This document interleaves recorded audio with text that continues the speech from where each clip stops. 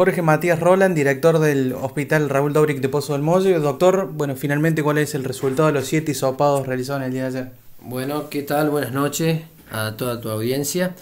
Eh, bueno, eh, por suerte los hisopados nos acaban de llegar recién, se fueron cargando la página y arrojó negativo los siete por suerte. Eh, esto quiere decir que dio la prueba viral para coronavirus negativo. estos pacientes obviamente están cursando un cuadro respiratorio, algunos tienen neumonía, algunos alguna otra patología viral, pero no son positivos para coronavirus.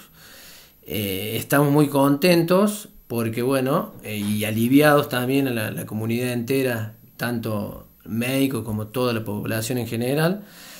Lo que tenemos que seguir es cuidándonos, manteniendo la distancia, no saliendo a la, a la calle únicamente a comprar las cosas necesarias, tenemos que tomar conciencia porque eh, nos puede llegar a todos, por más que somos una población chica, sabemos que este virus se transmite con la gente y, principalmente en los grandes conglomerados de gente, por eso está tan complicada la ciudad de Buenos Aires, la provincia de Buenos Aires, donde hay mucha gente, millones de gente, de habitantes, la, Córdoba capital, eh, Santa Fe, que tiene menos, el Chaco, pero bueno, yo creo que el mensaje que, que nos tiene que dejar esto es estar tranquilos, seguir en la lucha y tener la conciencia de seguir en cuarentena hasta que esto pase. ¿ah? Eh, y seguir todos los protocolos que nos manda desde arriba.